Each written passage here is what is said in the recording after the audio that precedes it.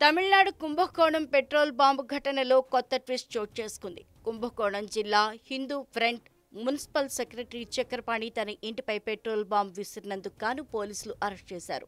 మెలకవేరి ప్రాంతంలో నివసిస్తున్న చక్రపాణి గత ఐదు సంవత్సరాలుగా హిందుత్వ సంస్థ హిందూ పెరమున కుంభకోణం మున్సిపల్ కార్యదర్శిగా పనిచేస్తున్నారు.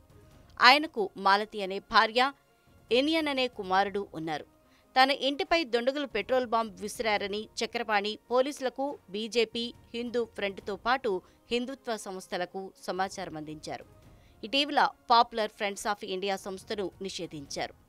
ఆ సమయంలో తమిళనాడులోని పలు ప్రాంతాల్లో పెట్రోల్ బాంబ్ పేలుళ్ళ ఘటనలు జరిగాయి. హిందూ ఫ్రంట్ బీజేపీ ఆర్ఎస్ఎస్ కార్యకర్తల్ని లక్ష్యంగా చేసుకుని ఈ ఘటనలు జరిగాయి. దీనికి సంబంధించి పలువురిని అరెస్ట్ చేశారు. ఈ క్రమంలో కుంభకోణంలో పెట్రోల్ బాంబ్ ఘటన మరోసారి కలకలం సృష్టించింది.